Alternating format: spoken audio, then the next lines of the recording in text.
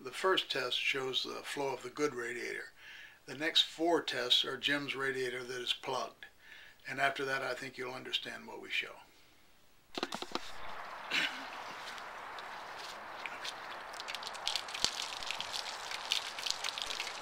One, two, three, go. What's that? Nice rough. Yeah.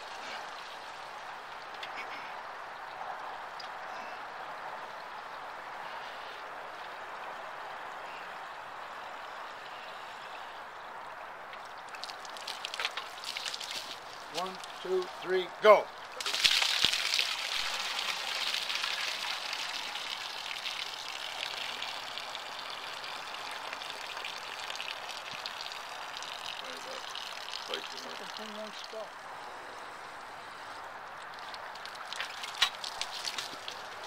One, two, three, go.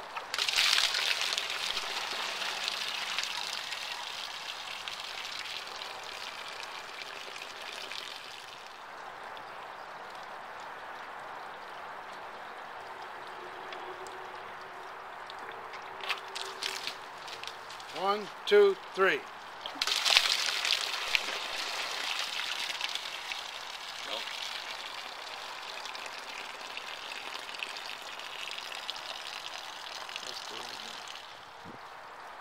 You didn't have any trouble with this stopwatch.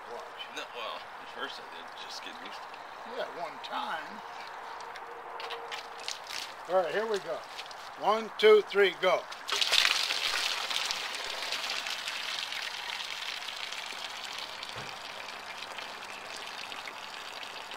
Seven point nine. What was the other? Seven point eight. Okay, we back flushed Jim's uh, radiator and we're going to see what it was going. It was doing about eight seconds before, Right. and we got it down to in the range of four or five seconds. So we've back flushed it some more. And We're going to try it again.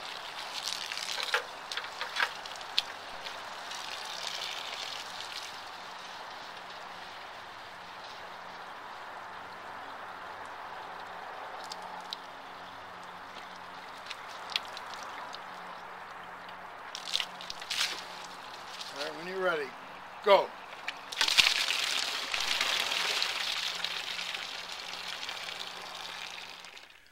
Okay, these three last videos, I put them together. The first one is the good flowing radiator. The second is Jim's uh, radiator before we back flushed it. And the third is after we back flushed it. And you can visually see a little difference. You can see a difference between the good one and the, the two bad ones. Go. Two, three, go.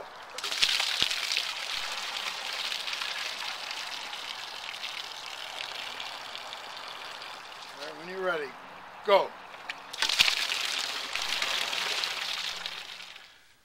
So I guess this test um, does correlate a bit with the, the real flow rate of the radiator. The first rate, the good radiator floated about 32 gallons a minute. Jim's radiator floated about 16, 17 gallons a minute. And then we tried the, the easy test that a lot of people use, just let the water run out of the radiator. And I've always said that doesn't mean anything.